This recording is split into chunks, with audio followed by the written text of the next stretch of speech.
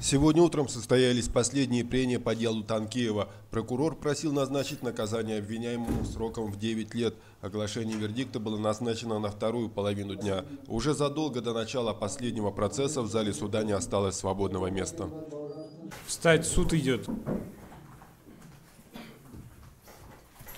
Суд признал Танкеева виновным по статье нарушения правил дорожного движения, повлекшее по неосторожности смерть двух или более лиц.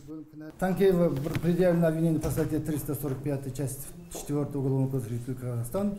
Э, Свое подтверждение доказано во время судебного разбирательства.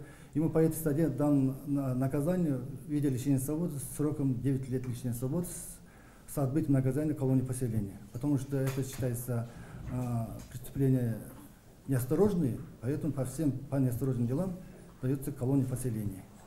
А, а, моральный ущерб у нас проходит три потерпевших, представители потерпевших, а двое не дали потерпевших, они сказали, что позже а, гражданский порядок дадут. Один дал взыскано миллион пятьсот тысяч моральный ущерб, а, там был на миллион двести сорок пять тысяч материальный ущерб, но подтверждающих документ, документов не было, поэтому мы отказали. Однако мы дали им возможность э, это дать в гражданском порядке имеет право им дать и взыскать. Пострадавшая сторона не согласна с приговором и намерена обжаловать решение суда первой инстанции. У него не было никакого раскаяния, он даже не только не раскаивался, он даже и не чувствовал своей вины. Мы не согласны с тем, что ему дали всего 9 лет. Свидетель даже сказал о том, что он неоднократно раз, э, ездил туда за зигзагами, ездил по этой дороге. Извините меня, в нетрезвом состоянии, кто ему дал право ездить вот так зигзагами по Байтурсынова? Ему моя дочь задала вопрос, снятся ли тебе погибшие?